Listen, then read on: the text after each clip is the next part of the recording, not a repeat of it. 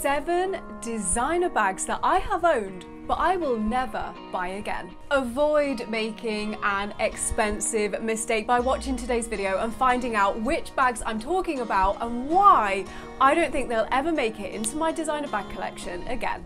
Hey everyone, Steph here. If you are new to this channel and love all things luxury, you, my friends, are in exactly the right place because we get it and not everyone does. Make sure you join us by hitting the subscribe button and the bell down below. Now, if you didn't already know, you might have guessed by the name of this channel that I am an avid collector of designer bags. It is my kryptonite, okay? I currently have over 30 bags in my luxury bag collection, but I have been collecting for over 10 years now, which is a little bit scary, which means I have had my fair share of designer bags and ones that I like but just have not worked out for me.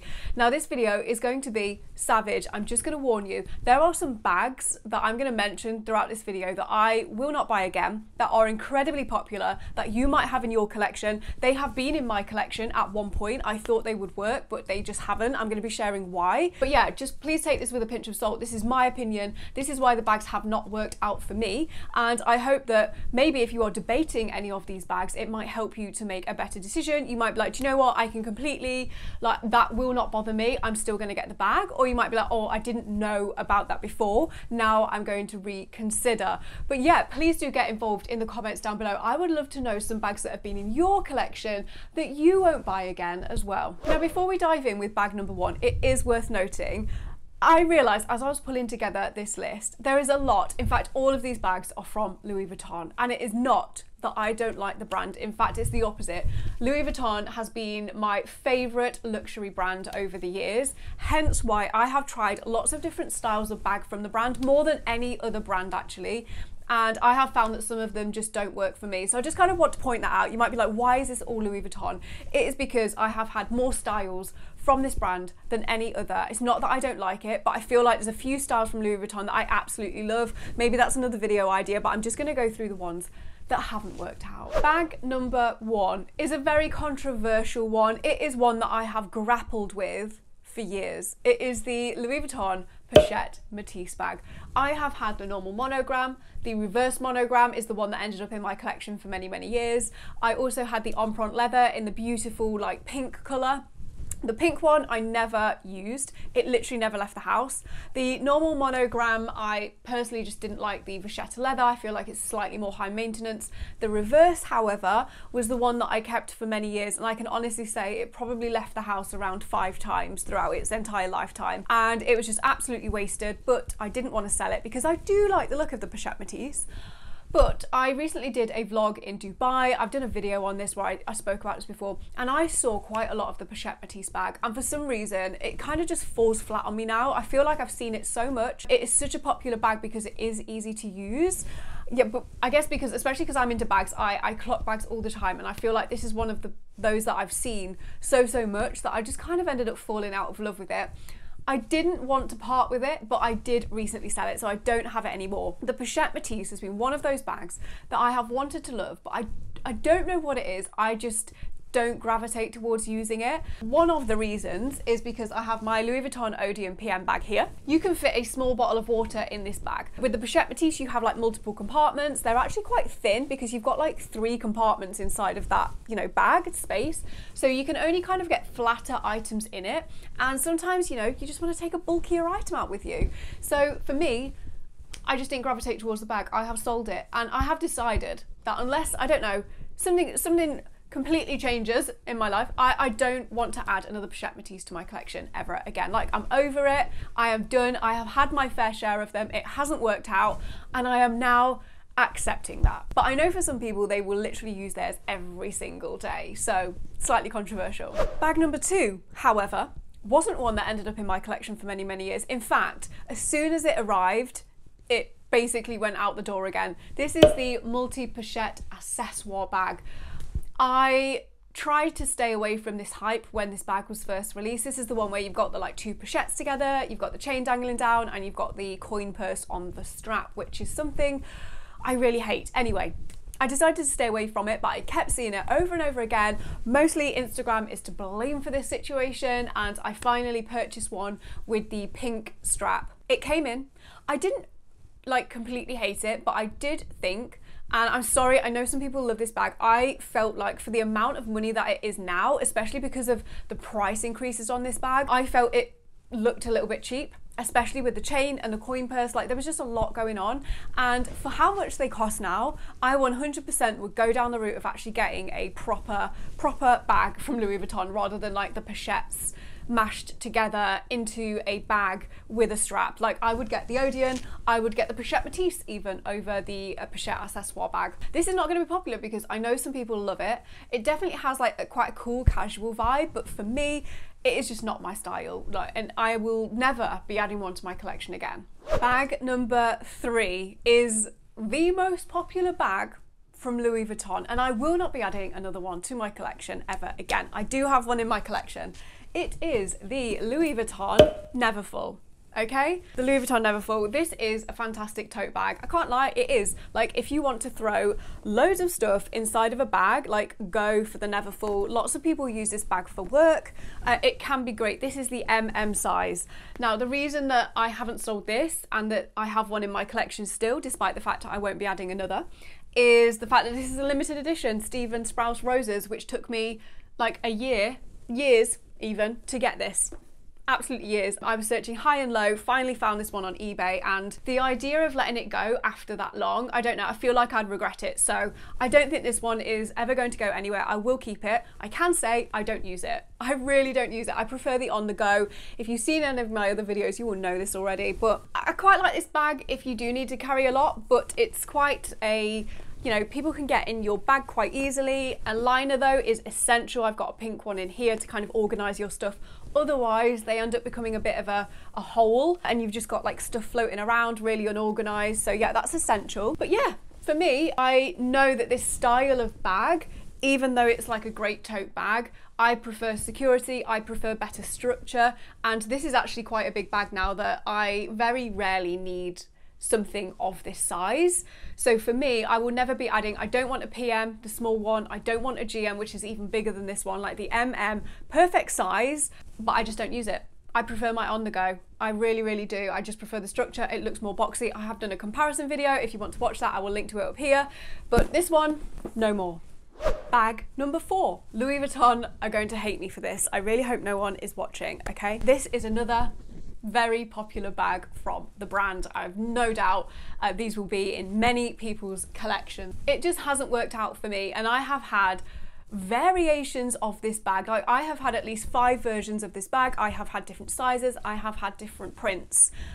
And I am coming to the same conclusion that I've come to with the Pochette Métis.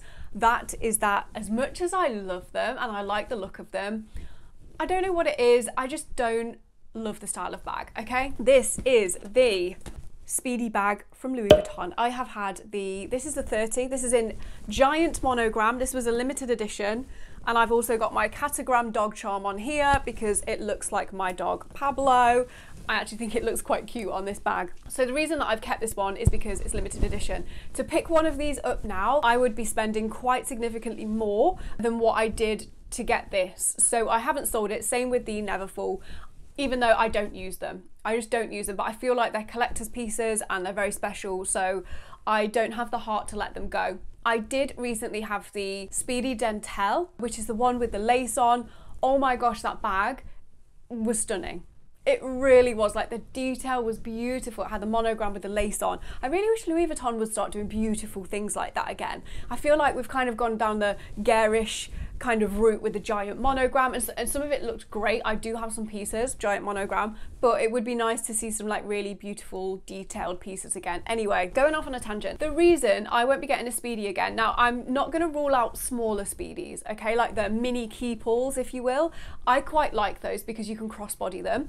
You can crossbody this it does come with a detachable strap but for me the speedy is a bulky bag okay? I like to crossbody my bags and when I crossbody this, look how big it like sticks out. You know, it's a big bag. This actually works better as a top handle bag rather than a crossbody. And I don't want to carry a bag of this size round in my hand all the time.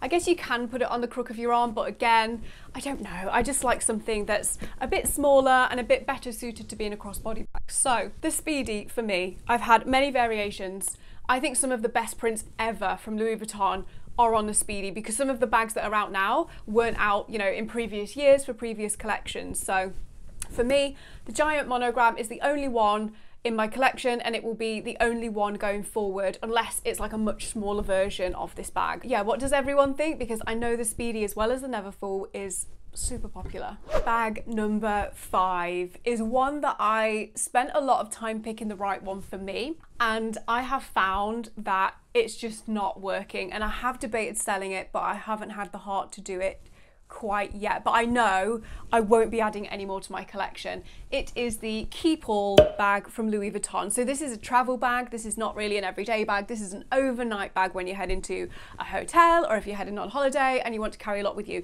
This is the Keepall 45 and this one has the black leather. I went for the black leather because it's you know, low maintenance. If it does stain or anything gets on it, it's not going to be the end of the world because it's black. It does come with a crossbody strap as well. I do really like this bag. Obviously, I love the way that it looks. I think it's fantastic. But I've come to the conclusion, I've shared this before in a few other videos, this is a heavy bag. Any bag of this size is going to be heavy, okay? I'm not, I'm not just saying it's like Louis Vuitton's made a particularly heavy bag. That's not the case. Any bag of this size, when it is full, is not lightweight. It's just not. And I prefer having a little wheel case when I need to carry this amount of stuff. A little wheel case that I can wheel along the floor so it's not killing my shoulder or my arm trying to carry an overnight bag. I have kept this because obviously COVID's happened and going away a little bit more now, maybe for like one night here and there. I've kept it in case I do decide to use it, but I've also had the Prism Keepall, which was slightly bigger than this, the 50.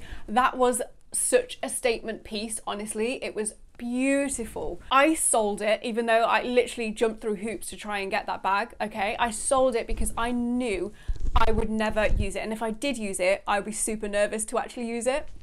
This one, I'm not so nervous to use it, which is why I decided to keep it.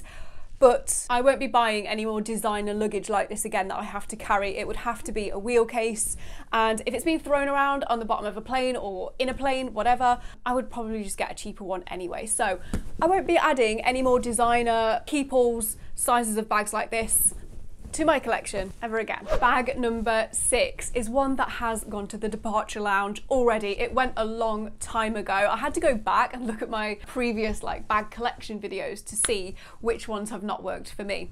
This is the Louis Vuitton trunk and I love the look of this bag. It was so, so cute. The functionality of the bag wasn't the easiest. It had a strap that went over the front, which kind of clipped in, similar to the Pochette Métis. So it wasn't the easiest bag to use, but I did wear it a couple of times and I felt like it was so blingy and it really it did stand out. And I get like Louis Vuitton's heritage is the trunk side of things. That is why I really like the look of it so much. But it was just a bit too like in your face for me and my style like the gold on the chain especially. I much prefer and something a little bit more understated, even it's got the, even though it's got the logo on. The Capucine bag for me, like the mini Capucine bag, is my favourite Louis Vuitton bag right now. And it has been for a very long time, and I feel like with the trunk, it's Louis Vuitton. It kind of looks a bit expensive, but it's also like, mm, is that fake? Like it looks a little bit too shiny and, and a bit tacky, if you will. That is just my opinion. I do still love the look of it though. I do sometimes get tempted to add another one, but I know that for me, like it's done. I am not going to be getting another trunk bag again. And last but not least, this is a bag that I actually get asked about probably the most out of a lot of Louis Vuitton bags. It is the Louis Vuitton Alma bag. So the BB size is the most popular size. This is the smallest version of the bag. I haven't had a BB size and it is because I have had a bigger size. I have had the MM, I've had the Vernis leather, they were so beautiful, okay? But what I can tell you, and it's what I tell other people who are thinking about this bag, if you can get over the functionality issues of this bag and how not easy it is to use, go for it. But for me, I want a bag to be easy to use. And with the Alma, you have to, or I found, had to put the bag down and then undo the zips. Like it's not a, you know, if you just want to quickly grab something like your phone out of your bag, you've got no pockets on either side of the bag if you want to grab something out, like it just becomes a bit hard. Like you can undo the zips, I guess, if you've crossbodied the BB version. but it's still, it's just a bit of an awkward shape. It's not, it's not easy to get into. I know that even though I, I do actually prefer the BB size and I haven't had it, I have stayed away from buying that purely because I know it's going to be a bit of a pain in the bum to get anything out of it. So unfortunately, as much as I love the Alma bag and I love it in the Vernis leather, like I think it's absolutely gorgeous in certain colours, I'm done. It won't be like I won't be adding another one to my collection again. Wow. This video has been nothing short of savage. I have literally picked off some of the most popular designer bags in the world from Louis Vuitton and said they have not worked out for me. But I hope it's been insightful as to why they haven't worked out for me. If you have any in your collection, please don't take it personally. Some of them are in my collection still and they have been for a reason. It's because I liked the look of the bag but they didn't work out. Please do get involved in the comments down below. I would love to know what bags have you had that just haven't worked out and why not? Because I think we can learn a lot from each other and hopefully help each other from making some expensive mistakes. Now, if you don't want to miss a future video release like this again or exclusive discount, make sure you are on the Handbagholic email list. I will pop a link to it down below. And if you to see me styling some of my luxury bags and fashion, you can head over to Instagram. My handle is at handbag underscore holic. Give me a follow over there. Feel free to DM me anytime. I absolutely love to chat luxury with you guys. Now make sure you don't go anywhere because coming up next, I will link my latest video release here for you and over here. Why you should never wear designer to the workplace. My story and some of yours as well. Enjoy.